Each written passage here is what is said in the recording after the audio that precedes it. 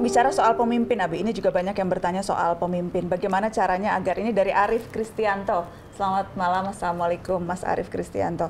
Uh, Mbak, bagaimana caranya agar negara ini memiliki pemimpin-pemimpin yang baik dan memiliki warga negara yang uh, mempunyai kemampuan untuk mewujudkan bangsa dan negara dan saya tambahkan ya, memiliki kemampuan untuk bisa melihat dan menentukan mana pemimpin yang baik dan mana yang tidak.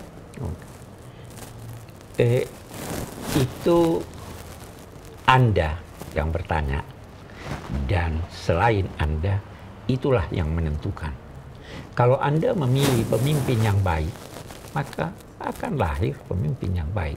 Itu Nabi sudah men, me, me, memberikan gambaran bahwa sebagaimana keadaan kalian, begitulah pemimpin kalian ditentukan. Hmm. Jadi kalau kita baik, kita pasti akan memilih yang baik maka menjadilah dia pemimpin.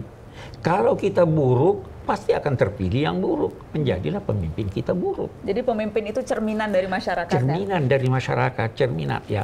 Pemimpin adalah cerminan dari masyarakat sekaligus pemimpin harus berusaha mewujudkan kehendak masyarakat. Itu sebabnya pemimpin dalam bahasa eh, eh, pemimpin suatu masyarakat atau pemimpin suatu negara itu dinamai amir Amir itu dalam bahasa Arab artinya yang memerintah dan diperintah. Pemimpin itu diperintah oleh masyarakatnya.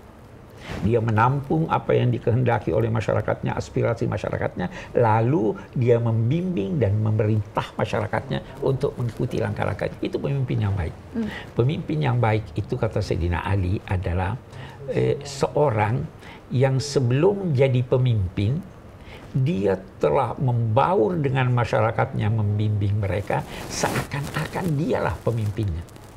Tetapi begitu dia menjadi pemimpin, dia membaur dengan masyarakatnya, seakan-akan dia bukan pemimpinnya, tapi salah seorang dari mereka.